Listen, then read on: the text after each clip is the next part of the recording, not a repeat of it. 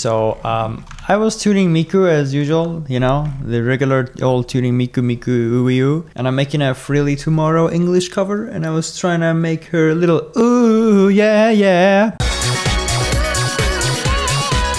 Okay, all right, and so I was doing that, and somehow, somehow, I managed to make this sound. Ooh, yeah, yeah.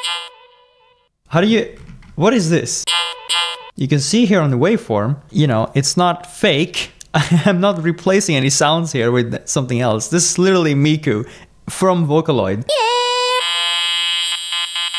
And I found, I, I tried to play with some controllers. Let's try uh, clearness.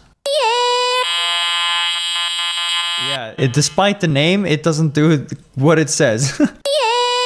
Sounds like it's applying some thickness to it and not like exciter. Breathiness. Oh, okay, it's like it just took over air. It doesn't do this anymore. So I can just, you know, make whatever pattern I want here.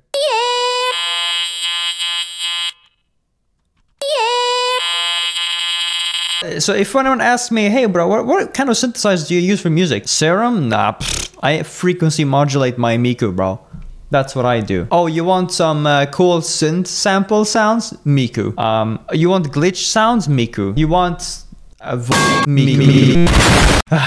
yeah, so that's that's all I wanted to share. That's it's just really fucking it's crazy. So thank you for watching. Subscribe.